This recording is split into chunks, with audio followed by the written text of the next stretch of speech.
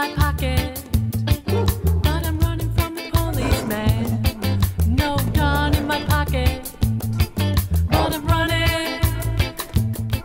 So now Jan wants me to take her uh, and watch her dog because she's gonna have a house fumigated, and I gotta take this here dog to a, a dog park. What do I know about dog parks?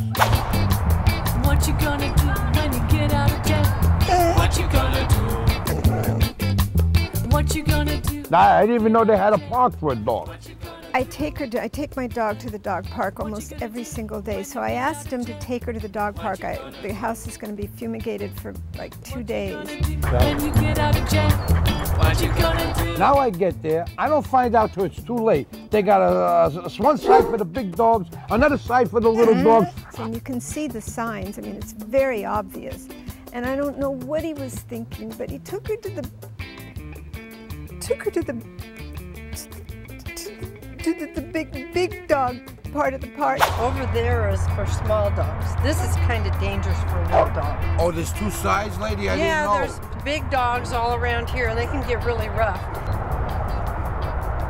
And she was playing. I mean, she's the sweetest little thing. She wouldn't hurt a fly. Give it to me one time.